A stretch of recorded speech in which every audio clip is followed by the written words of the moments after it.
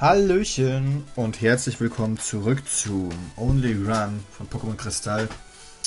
Mit mir, eurem Duran.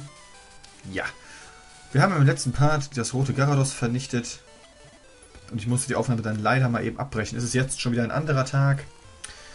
Ähm, Team Rocket. Team Rocket, Rocket, Rocket. Äh, nee, ich möchte jetzt gerne nochmal wieder ganz zurück. Und zwar würde ich eigentlich jetzt gerne in die Arena von Anemonia City gehen, beziehungsweise mich in diese Richtung begeben.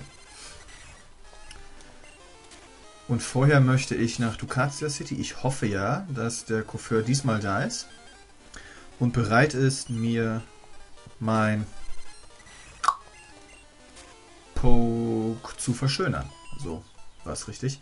Dass er sich bald dann doch zu einem stattlichen X-Bud entwickelt. Miau. Weiter geht's. Und das Kurios-Ei ist immer noch nicht geschlüpft. Das ist ja wohl eine Frechheit. Es sind schon Laute zu hören. Ja gut, das liegt natürlich auch daran, weil wir jetzt eine ganze Weile nur mit einem Poke unterwegs waren. Aber das ist schon echt lang. Oh, das Käferturnier ist heute. Das juckt natürlich keinen. Denn ich brauche keinen Käfer. Das, was ich brauche, ist mein Golbert und mehr nicht. Oh, guck mal. Da will ich mal eben rüber. Eine Rätselbeere. Na gut, die nehmen wir mit. Äh, ist hier noch was? Ist hier nix? Ist gar nichts. Wucher. Hier ist ja auch was und ich sehe das nur nicht. Kann ja sein.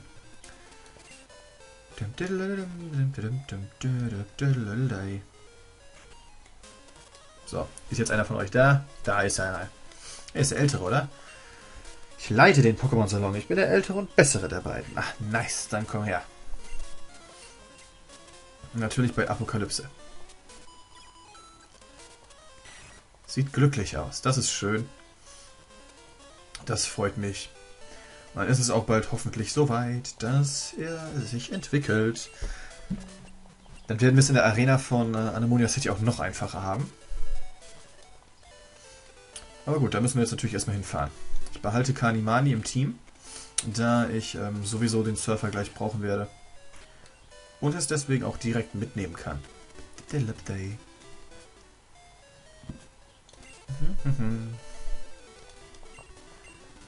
Eisbeere, naja gut, die nehmen wir mit. Können wir zwar nicht viel mit anfangen, aber besser als gar nichts, ne?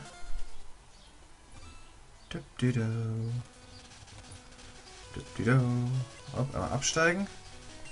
Die ganz normale Beere mitnehmen.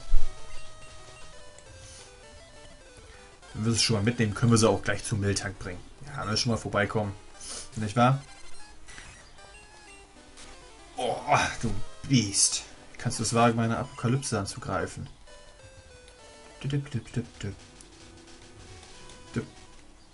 Ein Mülltank. So. Wieder eine Beere reinpfeffern. Und wir begeben uns... Oh, das Ei schlüpft. Was ist es? Was für ein Baby-Pokémon ist es? Ein Fluffeluff! Nice.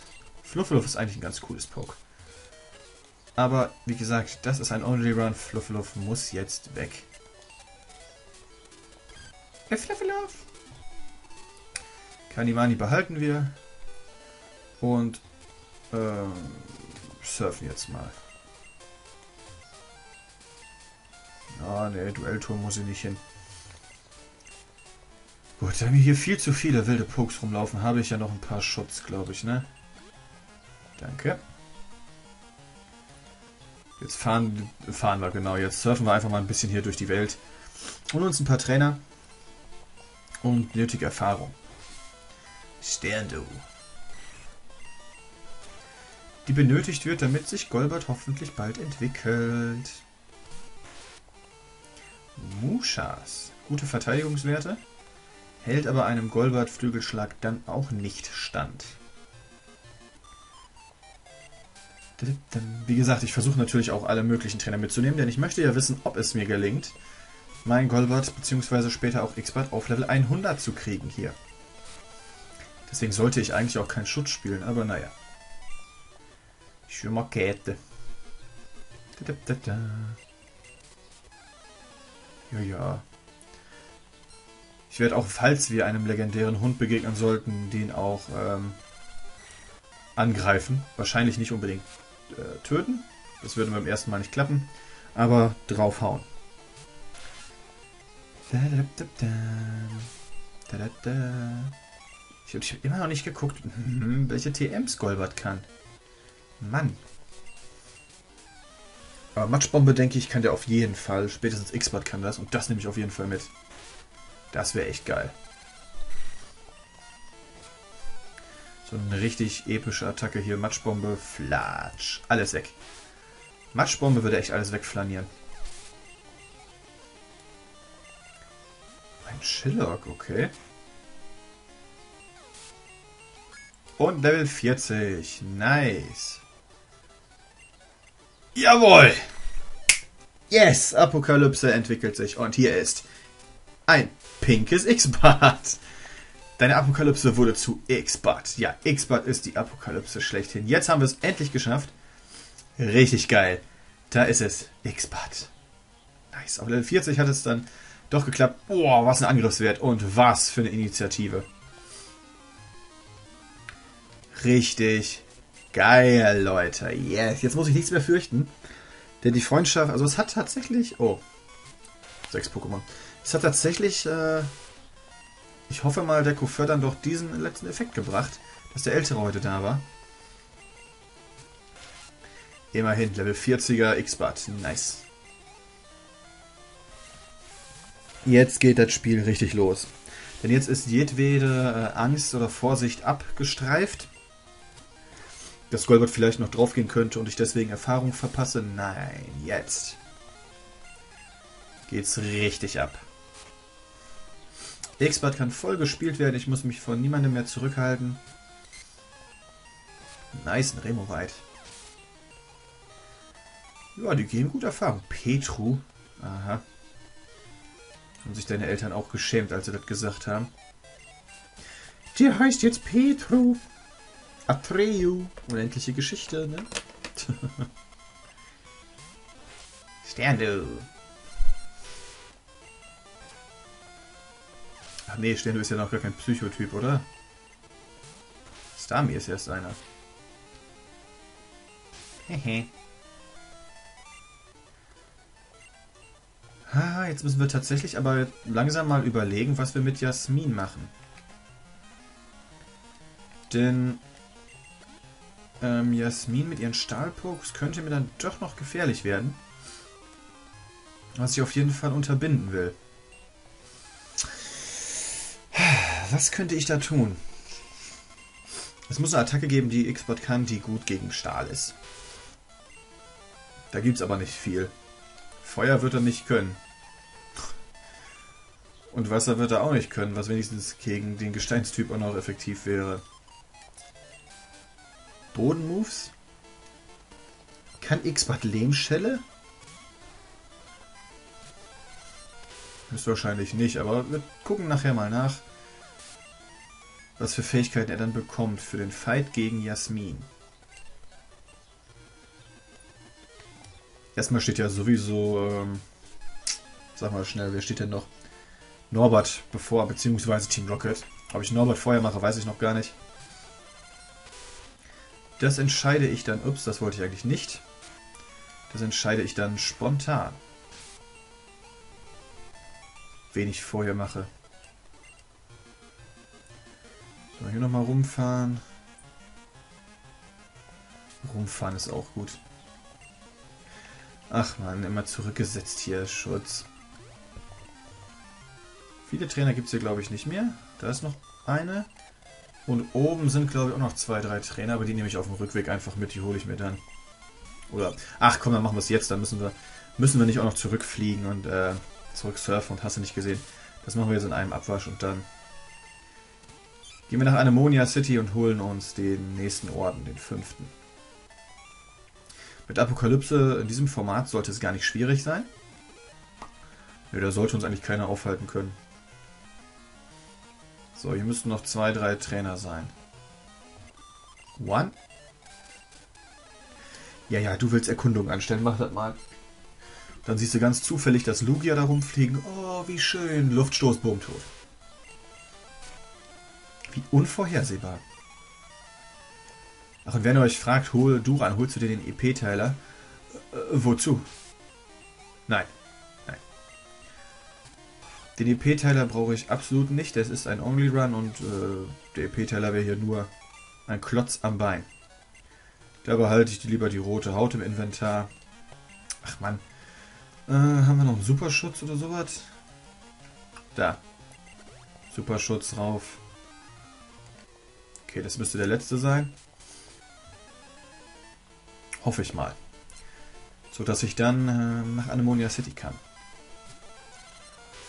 Und nach der Arena werde ich mich mal, beziehungsweise gucken wir mal, in Ducatia City kann man ja TMs kaufen und auch ja, allgemein mal, was wir im Rucksack haben, was denn ähm, die Angriffskraft beziehungsweise eine gute Fähigkeit für ab meiner Apokalypse wäre.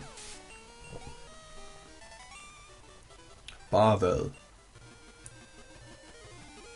Ne, dich hatten wir schon. Okay. Hier unten noch jemand. Tatsächlich, da ist noch eine. Da ist noch eine. Ja, die Karte der Strudelinseln, beziehungsweise deren Umgebung mit Tränen, habe ich nicht wirklich gut im Kopf. Gestehe ich mal. Aber es scheint auch nicht nötig zu sein.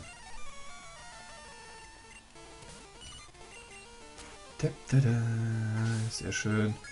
Zack, 42. Horrorblick. Nee, nee, nee, Horrorblick brauche ich nicht wirklich. Ich will kein Pokémon fangen und äh, zurückziehen. Bei den Hunden oder sowas ist das auch semi-optimal. Okay, Anemonia City. Wir sind da. Gehen natürlich gleich erstmal hier oben hin und begucken das äh, Suikun. Na, Eusin. Komm mal hin. Du Lavabacke, du. Schrecklich. Mystiker. Weißt du, Mystiker am Arsch, ey.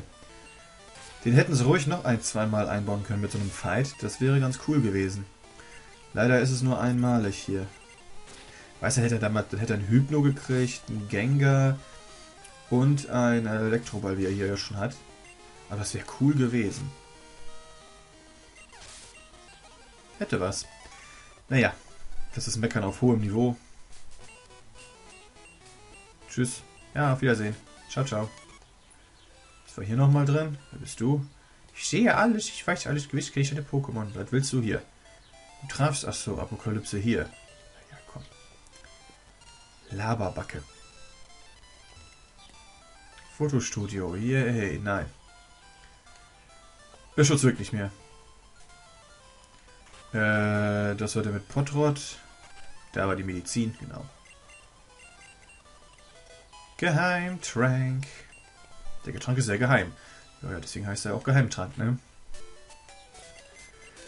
Welche Logik dieses Spiel im Mysterium umgibt. So, Kanimani kann jetzt auch erstmal für eine Weile weg und wir brauchen Onyx.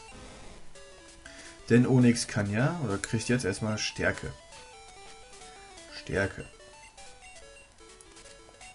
So. Gut, jetzt gucken wir mal eben. Was haben wir? Kopfnuss kann er ja nicht, oder? Kannst du mit? Kannst du Kopfnuss lernen? Nein. Walzer, wir gucken einfach. Müsste auch nicht können. Gut. Lockduft, Schaufler. Schwachsinn, warum sollte er Schaufler können? Spukball könnte sein. Nee, auch nicht. Schade. Lehmschelle? Nee. Auch nicht. Angeberei, Anziehung, Anziehung, Anziehung. Anziehung kann er lernen, aber macht, macht das Sinn? Für was denn? Nee, Quatsch. Nee, von den Sachen, die wir dabei haben, kann äh, X-Bud leider nichts. Dann muss ich doch Team Rocket ähm, in ähm, Mahagonia City vorziehen und dann Matschbombe holen. Und dann mit Konfusstrahl und sowas versuchen, die Gegner in der Arena von Jasmin zu besiegen. So, und hier haben wir das erste Knockout-Battle. Knockout-Battle kennt ihr ja auch alle. Knockout-Battle werden die Kämpfe genannt, wo ihr einen Trainer besiegt. So wie ich jetzt hier diesen Kikli-Typen. Schwarzgurt Xara. Und anschließend direkt der nächste Fight beginnt. Das sind Knockout-Battles. Davon gibt es hier im Original, glaube ich, relativ wenig. Ich glaube, den einen und vielleicht noch einen. Wenn ich nicht mal weiß wo, aber viele sind es nicht. La la la la la la la la. Schöne Erfahrung, ne? Worte sind Schall und Rauch. Lasst uns Fäuste sprechen lassen. Pfft. Schon hast eine geschmiert gekriegt von denen. Ach, wie schön die down gehen hier. Ist ja toll. Ich werde jetzt auf jeden Fall gleich äh, Jasmin schon mal in die Arena holen. Aber dann nach, eine, äh, nach Mahagonia City gehen. Da ich nicht die Lust verspüre, gegen sie anzutreten. Ich wette, mit viel Gegenheilen könnte ich sie auch besiegen. Glaube ich schon, mit Konfustrahl, Biss und gut. Aber Nee. Ich mache erst die andere. Sehr gut, 43. Jedes Level ist natürlich, äh, spricht natürlich für X-Bud gegen den Fight. Vor allem dann auch, wenn man mal bedenkt, was uns noch erwartet. Aber wir gucken jetzt nur auf die Gegenwart, nicht in die ferne Zukunft. Denn vor uns steht Hardwick, der Arenaleiter der Arena von Anemonia City der erstmal einen Stein kaputt macht. Warum? Einfach so. Weil er es kann. Hätte er den Stein auf uns geschmissen, hätte er nicht mehr diese Probleme hier mit dem Kampf.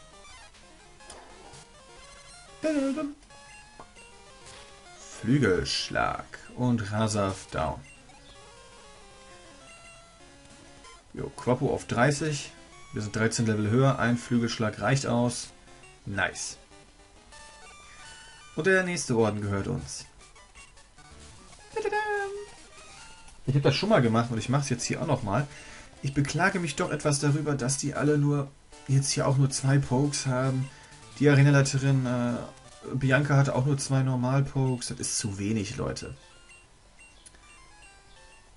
So, eigentlich möchte ich meinem Expert nicht gerne Fliegen beibringen, sondern Flügelschlag behalten. Aber ich muss ihm Fliegen beibringen. Hey. Fliegen. Jo, aha. Ha, ha? Hä? Hä? Hä? Ich muss aufpassen, dass ich natürlich jetzt nichts wegklicke, was ich noch gebrauche, ne? Bis, Konfusstrahl, Sternschauer, Flügelschlag. Sternschauer ist ja nicht wirklich eine... Die brauche ich aber noch. Ich mache Flügelschlag jetzt auch weg. Ist eigentlich logisch auch. Ja. Da darf ich nicht zu lange überlegen, sonst mache ich Fehler. Auf geht's. X-Byte erstmal. Zu lange überlegen birgt Fehl birgt Fehler. Das äh, will ich natürlich vermeiden. Durch zu langes Überlegen. So, hier, Hyperstrahl.